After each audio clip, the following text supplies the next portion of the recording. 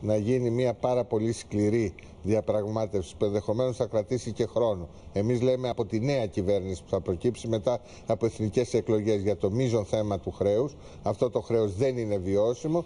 Χρειάζεται κούρεμα πάνω από 50% για να μπορεί ύστερα να γίνουν ρυθμίσεις με ρήτρα ανάπτυξης, πάγωμα τοκοχρεολυσίων κτλ. να αναπνεύσει η χώρα. Και χρειάζεται δεύτερον να μπουν κόκκινες γραμμές. Και οι κόκκινες γραμμές δεν είναι τα νούμερα που είναι ε, τρία θετικά και 13 αρνητικά. Οι κόκκινες γραμμές είναι η κατάσταση της χώρας. Όταν δηλαδή όλες οι εκθέσεις, οι εκθέσεις οργανισμών, η Ελστάτ, το Γραφείο Προπολογισμού της Βουλής, διεθνείς οργανισμοί κτλ. δείχνουν ότι 6 εκατομμύρια άνθρωποι 40% ε, των παιδιών κτλ. υποσυτίζονται, βρίσκονται στα όρια της φτώχειας κτλ.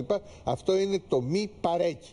Η γερμανική Ευρώπη, κυρία Τζαπανίδου, δεν έχει κανένα μέλλον είναι σε πλήρες αδιέξοδο. Αυτό το γνωρίζουν και οι Γάλλοι, και οι Ιταλοί και οι Ισπανοί και η Γερμανία από συμβούλους της Μέρκελ μέχρι άλλους. Η αιμονή σε αυτή την πολιτική θα πρέπει να συντριβεί με νέους πολιτικούς συσχετισμούς και γι' αυτό εμείς λέμε εκλογές, εθνικές εκλογές συζήτηση προφανέστατα θα είναι το κορυφαίο ζήτημα οι στρατηγικές σε σχέση με το χρέος εν ώψη των εκλογών. Συνεννόηση και συνένεση ύστερα για ευρεία πλειοψηφία για τον πρόεδρο της Δημοκρατίας ότι θα απαιτούνται οι 180 δηλαδή πρέπει να υπάρξει μια σταθερότητα αλλά με ένα βήμα προς τα μπροστά με ανοιχτούς τους ορίζοντες. Ε, όχι ως υπαλληλία προς τους Γερμανούς. Ζητάτε εκλογές, εκλογές τώρα. Θα ζητήσετε από τον πρόεδρο της Δημοκρατίας να παραιτηθεί δηλαδή; Ε, Σας είπα νομίζω ότι το αποσυνδέουμε από τις από την εκλογή του Πρόεδρου της Δημοκρατίας.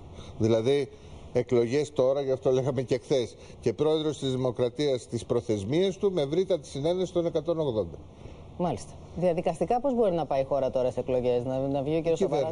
Παίρνει την, ε, η κυβέρνηση έχει την, ε, το δικαίωμα και να πάει για σοβαρό λόγο σε, σε εκλογές; Σε εθνικό λόγο. Ο εθνικός λόγος υπάρχει. Συμφωνήσαμε προηγούμενα. Το θέμα της διαπραγμάτευσης για το χρέος το οποίο Μέχρι τώρα ο κ. Σοβαρά σας δίνει την απάντηση. Σας λέει εκλογές το 16. Γιατί ξαφνικά δηλαδή αν το πείτε στον πρόεδρο της Κάθε μέρα, κάθε μέρα που περνάει. αυτή η προεκλογική περίοδο. Κάθε μέρα που περνάει. Ε, βέβαια, αυτή αυτή η ρευστότητα, Μα εσείς τη δημιουργήσατε αυτή, τη ρευστότητα, δεν είναι από μόνη που διαχέεται, είδατε, οδη, οδηγεί την, την Τρόικα να μην έρχεται, οδηγεί τα χρηματιστήρια να είναι εκεί που είναι. Τα θέματα θα πρέπει να τεθούν όλα πάνω στο τραπέζι και επαναλαμβάνω θα είναι δύσκολος ο δρόμος. Πολύ δύσκολος, αλλά για όλους μας. Εγώ θα ήθελα να πω ότι θέμα της διαπραγμάτευσης, πώς μπορεί να πάει η χώρα σε διαπραγμάτευση όταν ακούμε το διάλογο του κ.